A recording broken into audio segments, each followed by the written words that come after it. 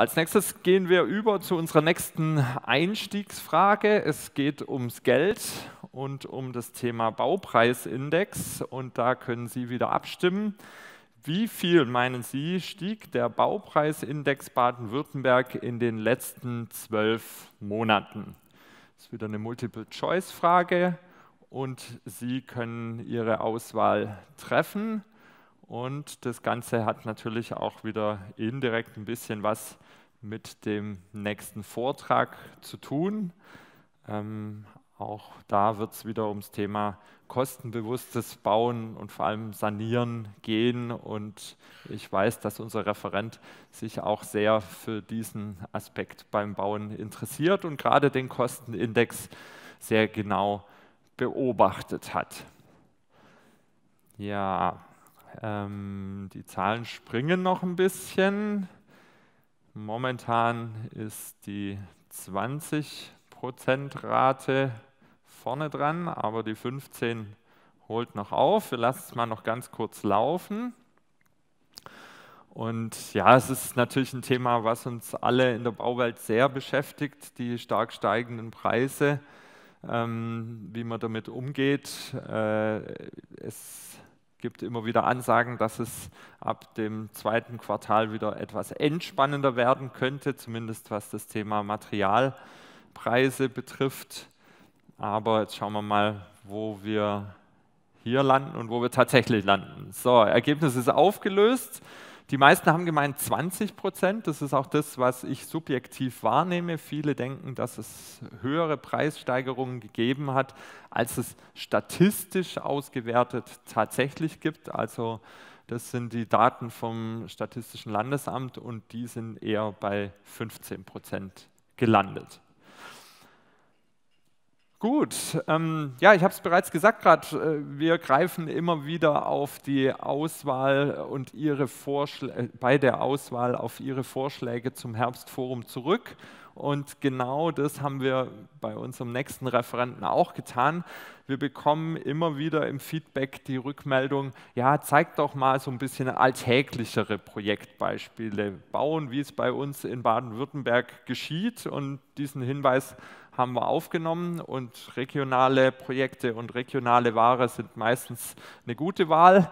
Und ähm, ja, da haben wir uns für gelungene Bestandssanierung aus Baden-Württemberg entschieden, haben dazu einen Planer eingeladen, der auch schon beim Effizienzwettbewerb des Landes mehrere Preise abgeräumt hat, auffällig viele Preise abgeräumt hat. Und wie Sie wissen, geht es da immer um effiziente, energieeffiziente Gebäude, architektonisch ansprechend und auch noch kostengünstig.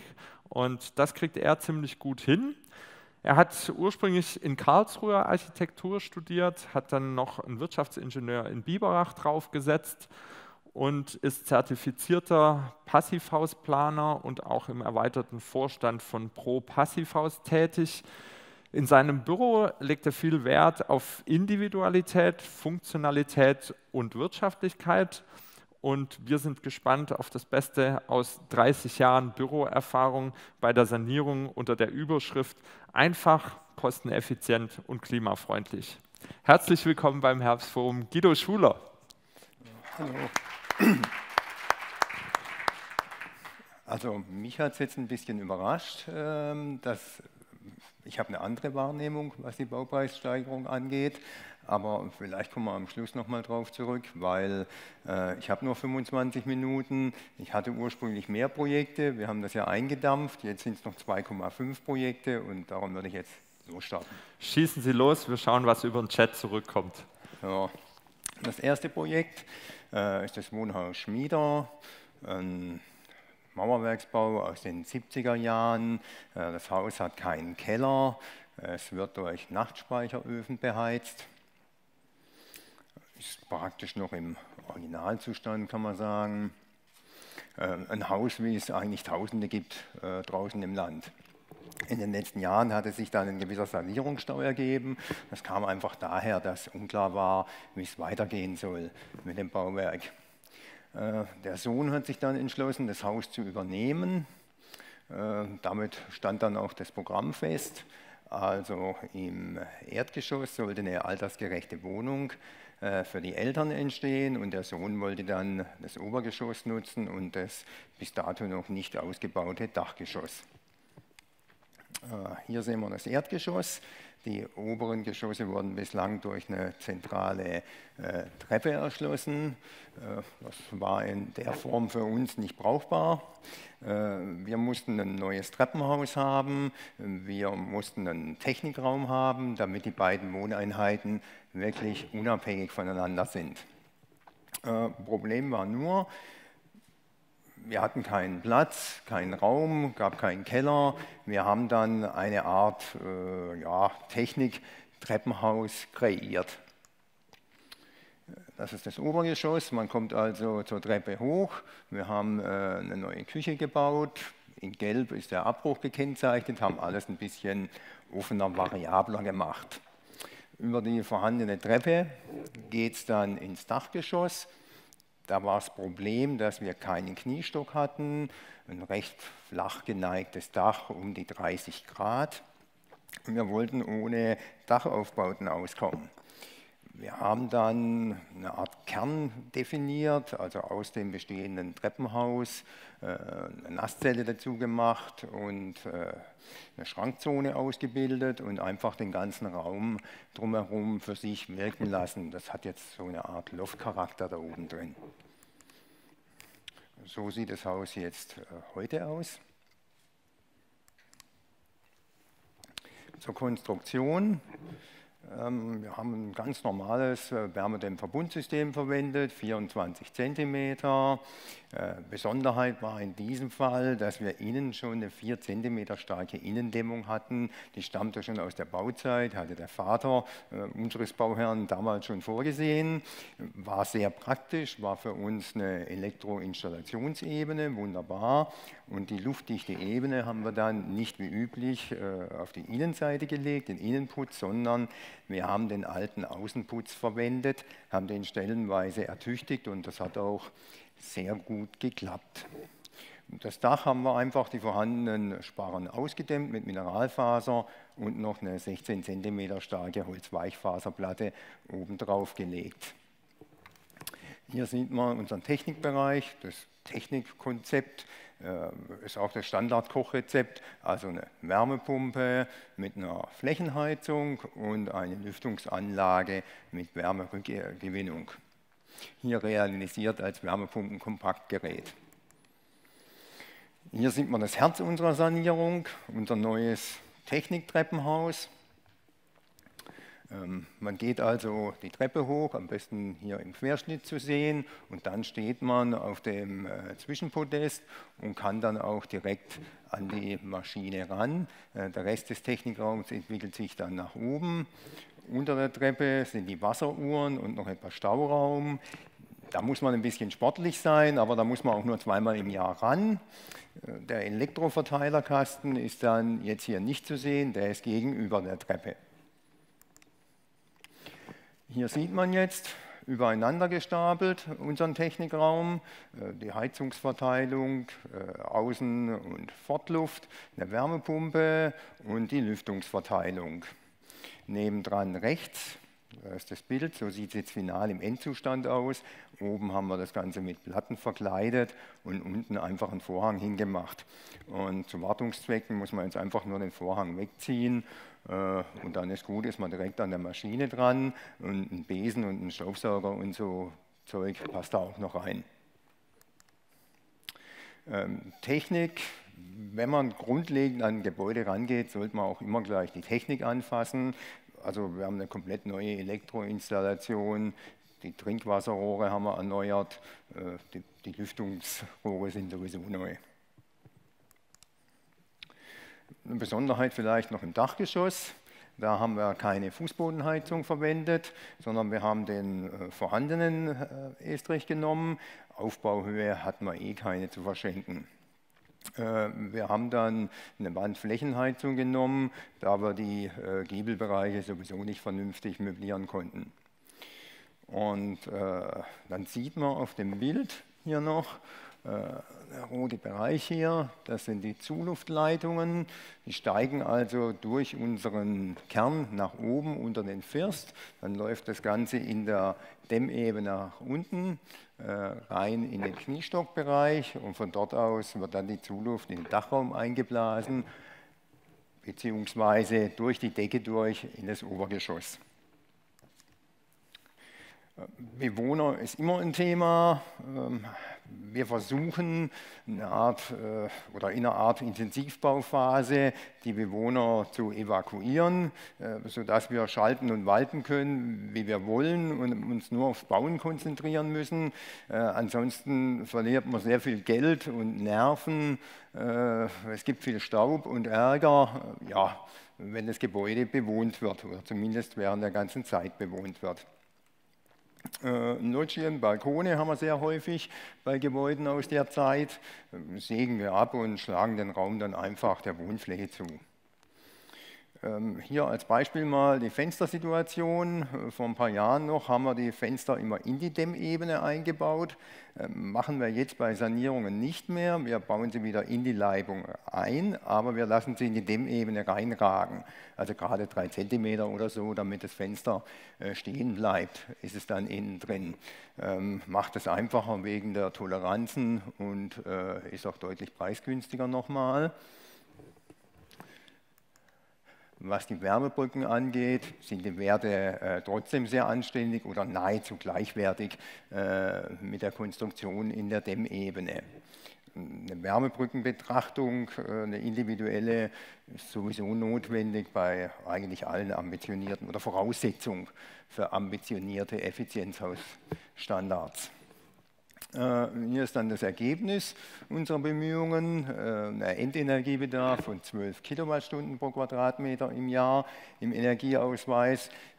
Das ist jetzt aber immer ein bisschen schwierig mit dem Energieausweis, damit man das Ganze vergleichen kann. Habe ich hier eine Tabelle gemacht. Äh, man sieht in der ersten Zeile den Wert vom Energieausweis. Dann drunter haben wir ein PAPP gerechnet mit individuellen Einstellungen, um äh, den vermutlichen Verbrauch äh, tatsächlich mal herauszubekommen oder unsere Benchmark eigentlich. Und unten kann man sehen den Verbrauch in den Jahren 18, 19, 20. Und das ist nahezu deckungsgleich mit der PAPP-Berechnung. 2020 sind die Werte etwas niedriger, das war ein besonders warmes Jahr. Als Fazit aus Architektensicht, man kann mit üblichen Handels, äh, üblichen Mitteln, also ganz einfach ambitionierte Effizienzhausstandards erreichen. Die zweite Wohneinheit ist verfahrensfrei. Also in Baden-Württemberg braucht man, wenn man aus einem Einfamilienhaus ein Zweifamilienhaus macht, äh, keine Baugenehmigung. Ansonsten war der Sanierungsstau noch sehr hilfreich. Da es einfacher war, konsequent ranzugehen und man keine Rücksicht nehmen musste auf äh, irgendwie ein zehn Jahre altes Fenster, ähm, mittelmäßiges Fenster, das auch noch falsch eingebaut ist und aber doch zu schade ist, um es wegzuwerfen. Die Bewohner, die erfreuen sich an ihrer neuen Umgebung. Es ist deutlich komfortabler geworden. Äh, überrascht waren sie, dass ihre alten Möbel so gut noch reinpassen. Äh, in Hitzeperioden ist es angenehm, dass die Stromrechnung deutlich niedriger ist, äh, versteht sich von selbst. Zu den Baukosten, hier jetzt umgerechnet auf das erste Quartal 2021, 326.000 äh, Euro. Und die Eigenleistungen, also die sind geschätzt, betragen etwa 30.000 Euro.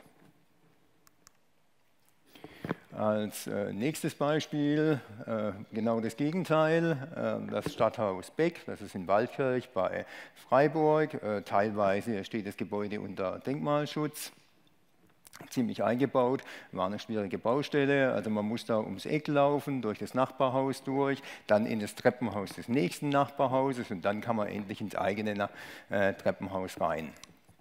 Das Gebäude wurde Ende der 90er schon mal saniert. Da war auch schon eine Innendämmung auf der Straßenseite. Im rückwärtigen Raum, äh, wo man machen konnte, was man wollte, mehr oder weniger, war eigentlich alles schon neu. So unsere Aufgabe war, ähm, den Grundriss neu zu gestalten, zu überarbeiten und eine angenehme Wohnatmosphäre für die neue junge Familie äh, da zu gestalten. Ähm, wir haben also an der Hülle nur kleinere Optimierungen vorgenommen. Wir haben mal Glasbausteine ausgetauscht, solche Dinge, also nichts Bewegendes. Äh, das Haus wird auch mit Gas beheizt, das ist auch weiterhin so. Da war äh, ja, aufgrund der Gemengelage einfach nicht dran zu rütteln. Was wir getan haben ist, ähm, wir haben mit unserem neuen Grundriss haben wir in der Mitte eine vertikale Isolationszone ausgebildet, sodass wir äh, einfach eine Lüftungsanlage mit Wärmerückgewinnung äh, realisieren konnten.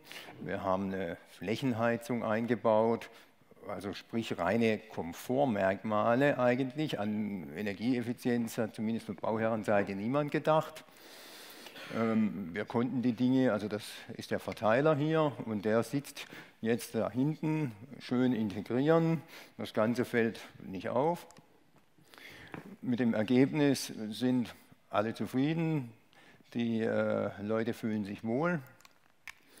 Und was für uns wichtig war, dass das Gebäude jetzt EE-fit ist, wenn wir schon nicht viel bewegen konnten, aber das, äh, das Gebäude lässt sich jetzt mit niedrigen Vorlauftemperaturen beheizen im Augenblick noch nicht so wichtig, aber wenn in ein paar Jahren sich die Situation anders darstellt, das Gas vielleicht rauskommt, äh, dann wird es möglich sein, das Ganze auch mit einer Wärmepumpe äh, zu beheizen. Äh, das letzte Projekt, äh, wieder Jahrgang 73, äh, ein Fertighaus mit einem Sockelgeschoss am Hang, Sockelgeschoss massiv aus Beton überwiegend, beheizt mit Öl. Äh, das Haus noch im Originalzustand, das war auch wirklich ernst zu nehmen mit dem Originalzustand. Der Bauherr hat das Gebäude von seinem Vater geerbt und wollte es jetzt auch nutzen, hatte nur, wollte außen den Charakter erhalten, hatte aber etwas modernere Wohnvorstellungen im Innenraum. Ähm, das Gebäude sah auch tatsächlich, also das war wie eine Zeitreise. Äh, es war alles extrem gepflegt, sah alles aus wie neu, nur eben 50 Jahre alt. Das ist mir gar nicht klar, wie das funktioniert hat, aber irgendwie ging es. Äh, was wir getan haben, wir haben ein paar Wände rausgenommen, wir haben den Eingangsbereich neu gestaltet, wir haben das Ganze altersgerecht ausgeführt, äh, ein neues Bad eingebaut, auch hier gab es eine Loggia, die nie benutzt worden ist. Ähm, haben wir wieder den Wohnraum zugeschlagen. Äh, Im Untergeschoss, das eben überwiegend im Berg drin steckt, da haben wir die, äh, ja, die Einliegerwohnung, die schon da war, erneuert, eigentlich warm eingepackt und äh, dazu ja, äh, riesen Heizkörper aus der Garage ausgebaut oder wir haben den Schornstein abgebaut, damit wir eine Installationszone hatten, solche Dinge eben ergänzend noch. Ähm, so sieht das Haus äh, ja, jetzt heute aus.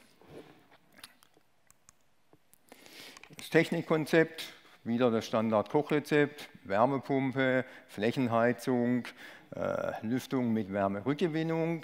Wir haben das Dach auch neu gemacht, haben bei der Gelegenheit auch eine Photovoltaikanlage installiert.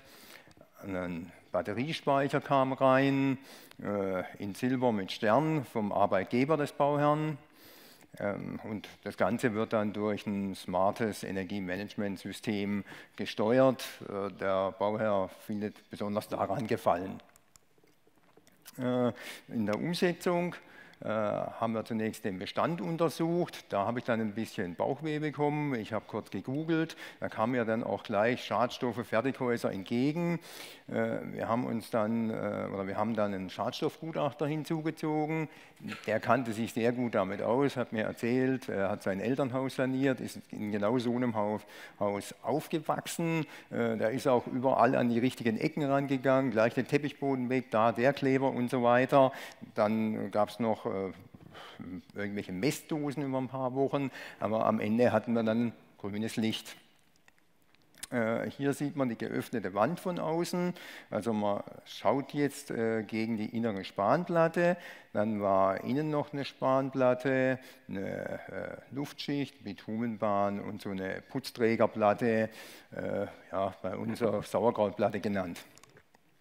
Ähm, was haben wir gemacht? Wir haben die vorhandene Wand zurückgebaut bis auf die Ständerebene von außen. Damit wir sie innen weitestgehend belassen konnten, haben den Raum teilweise als tragende Installationsebene benutzt, äh, haben, nach, haben außen wieder die luftdichte Ebene ausgebildet, Stegträger aufgebaut, eine Holzweichfaserplatte als Putzträger verwendet und die Hohlräume ausgeblasen. Äh, in dem Schnitt, wo man auch die Jalousie sieht, äh, da kann man erkennen, also das Dachgeschoss ist nicht ausgebaut, es ist die oberste Geschossdecke gedämmt und da haben wir uns auch eine Installationsebene geschaffen, damit wir die Lüftung verteilen konnten und äh, durch die Decke sozusagen direkt die Frischluft einblasen konnten. Dadurch konnten wir auch die vorhandene Decke weitestgehend erhalten. Hier sieht man die zurückgebaute Wand, auf dem seitlichen Bild, äh, da hängt noch die ganze Pappe dran. So ist es dann. Der Teil ist neu, da waren mal Glasbausteine drin, da haben wir teilweise eine Brüstung reingezogen. Und hier nochmal zum Verdeutlichen des Aufbaus. Also wir sehen äh, die Wand zurückgebaut, die alten Fenster, die alten Rollladenkästen. Auf dem Bild in der Mitte grün, das ist die Luftdichtfolie. Der Zimmermann bringt gerade die Stegträger an. Dann äh, links die USB-Platten, das sind die Zargen für unsere neuen Fenster. Die USB-Platten sind angeschlossen an unsere Luftdichtbahn. Und hier in der Mitte, das ist das neue Fenster. Und wenn man die Lage vergleicht, man sieht das neue Fenster und äh, links daneben das alte Fenster, dass das neue Fenster eben deutlich weiter außen in der Dämmebene liegt. Äh, auf dem Bild rechts sieht man, da wird gerade die äh, Zellulose eingeblasen und über dem Fenster ist so eine Fehlstelle. Äh, da kommt dann später der Jalousiekasten aus dem Stoff rein. In, ähm, jetzt sind wir im Dachgeschoss quasi. Man sieht die Zuluft, die Wickelfalzrohre. Die Luft kommt da hoch in die Luftverteiler. Die Öffnung ist früher mal vom Schornstein gewesen. Wir führen das Ganze im Boden. Durch die Decke geht es nach unten. Um die Luftverteiler haben wir eine Art äh, ja, Wartungsboxen haben wir gebaut, äh, aus Holz einfach, weil die ja höher sind als die Dämmebene. Man kann hier sehen, dass die Rohre dann verschwinden in der Dämmung. Das ist die neue Luftdichtfolie. Ähm, der Aufbau ist ähnlich wie ein hundsgewöhnlicher Fußbodenaufbau.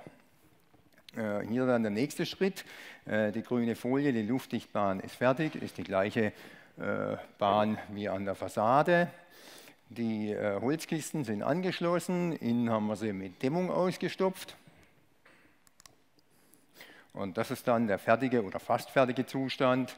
Ähm, man sieht jetzt hier, die Bodentreppe ist noch nicht montiert. Das Grün ist die Luftdichtbahn. Oben drüber sind noch 14 cm PU-Dämmung und oben eine USB-Platte oben drauf, da das Ganze wieder als Lagerfläche genutzt werden sollte.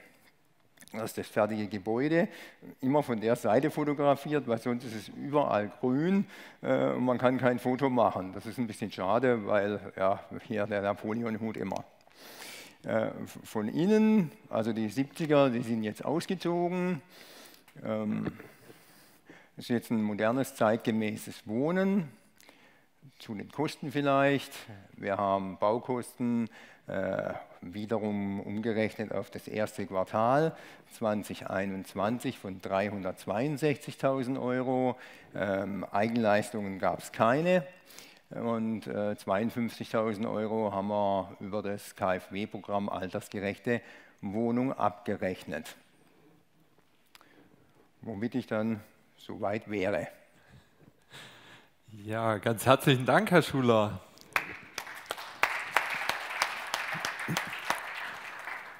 Ich bin total fasziniert. 45 Folien in 25 Minuten in aller Ruhe vorgetragen. Das geht. Ne? Und ähm, es war auch noch super spannend. Klar, viele Bilder, dann geht es immer gut. und wir haben drei sehr interessante Projekte gesehen. Gab ein paar Fragen, auf die würde mhm. ich eingehen. Ähm, am besten hat mir persönlich ja der Satz gefallen, äh, Vorhang auf, Wartung machen. Jetzt gab es natürlich die Rückfrage dazu ähm, vom Herrn Lehmann mit Recht.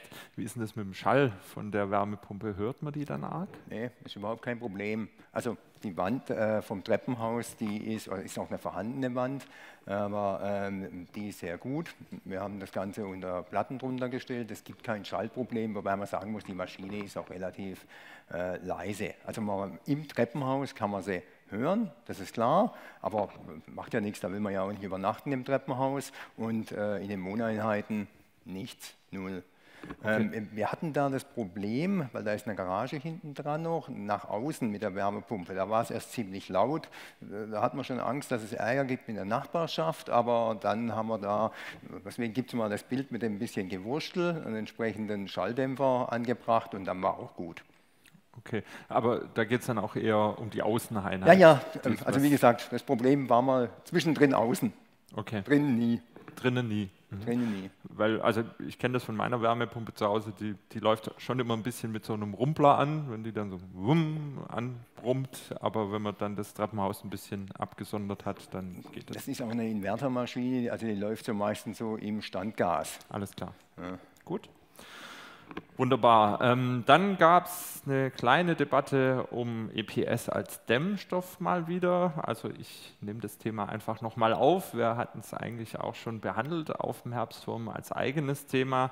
Ähm, ging ums Thema graue Energie. Kann ich gleich noch was dazu sagen. Sie hatten schon ein bisschen was gesagt, sommerlicher Wärmeschutz. Für Sie okay mit EPS oder was Sie? Äh, überhaupt kein Thema. Also wunderbar. Also äh, ich kenne den Bauherrn besonders gut. Wir vergleichen auch äh, häufig, wie warm ist es denn? Also ich selbst habe ein Passivhaus, was äh, also ein Holzbau, der komplett mit Zellulose gedämmt ist. Ähm, aber äh, also das klappt da einwandfrei. Hat natürlich auch mit den Fensterflächen, hat mit vielem zu tun, ja, aber äh, ist kein Problem. Hm. Auch im Dachgeschoss äh, ist es kein Problem. Hm. Ja, ich finde es ähm, sehr pragmatisch, wie Sie da damit umgehen. Also man sieht ja, Sie haben was übrig für Naturmaterialien, naturbaustoffbasierte Materialien, haben aber auch keine Berührungspunkte letztendlich mit den äh, synthetisch erzeugten Dämmstoffen. Also alle Dämmstoffe haben da ihre Berechtigung. Das kommt eben auf das Einsatzgebiet an. Wenn es möglich ist, nehme ich natürlich auch lieber Holzfaser und Zellulose, aber es kommt darauf an. Und äh, wichtig ist, dass man überhaupt das Gebäude dämmt. Gut, wunderbar, genau. Also ich finde, äh, bevor jemand anfängt, EPS zu verbieten, sollte man vorher bitte alle Ölheizungen verbieten. Das wäre sehr wichtig, weil wenige Monate Laufzeit von einer Ölheizung ähm, amortisiert sofort wieder die Entstehungs- oder beziehungsweise die Baustoffenergie, die im EPS äh, drin steckt. Soweit hänge ich mich jetzt mal aus dem Fenster. Ich habe im Chat auch noch mal einen Link gepostet zur Studie vom IFOI, was Ökobilanzen von EPS äh, betrifft. Da kann man das gegebenenfalls auch noch mal aus Sicht der Wissenschaft dann gerne nachlesen an der also Stelle. Ich kenne den mehr zwei Jahre, aber EPS ist dann eben noch das Beste, was man aus Erdöl machen kann. So. Und man muss es nicht lieben, aber man sollte es auch nicht verteufeln. Gut, ähm, das war aus meiner Sicht das Aktuelle. Ich schaue nochmal schön nach, was sonst noch reinkam. Ähm, es kam noch eine Frage vom Herrn Miller. Wurde bauphysikalisch geprüft, ohne Rückbau der alten Außenhaut eine Außendämmung anzubringen? Ich weiß jetzt nicht genau, welches, wahrscheinlich das letzte Projekt, nehme ich an. Ja, ja? also ähm, das haben wir uns überlegt, genau, und, und das haben wir äh, geprüft und darum ist es so, wie es ist, genau. Also darum haben wir es zurückgebaut, weil es sonst problematisch gewesen wäre, einfach eine aufzubringen. Okay, also diese Prüfung ist richtig, von dem her gesehen auch die Nachfrage. Also da, da hat er den richtigen Riecher. Also das ist das Problem oder da kommt es ursprünglich her. Hatte dann auch viele andere Vorteile äh, im weiteren Fortlauf, aber äh, das war das Erste. Das stand gleich vorne. Oder das Erste nach den Schadstoffen, sage ja. ich jetzt mal. Ja.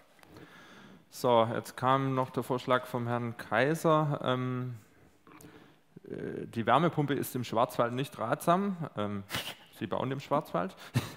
es sei denn äh, Erdwärmetauscher, was ist dann für eine Heizung sinnvoll? Fragezeichen. Ja, ich habe kein Problem mit der Wärmepumpe. Halte ich für sinnvoll. Okay. Und, Und meine Bauherren im Schwarzwald auch.